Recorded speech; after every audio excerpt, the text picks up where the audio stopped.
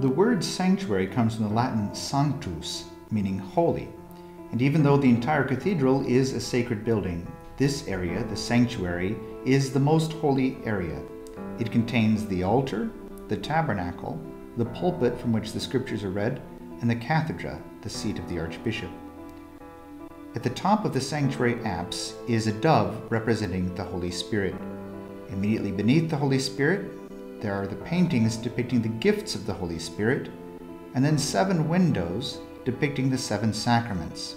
The art gives witness to the idea that it is the action of God in the Holy Spirit that gives life to what goes on beneath. Here, humans come to pray, to worship God, and give grace then to live the faith.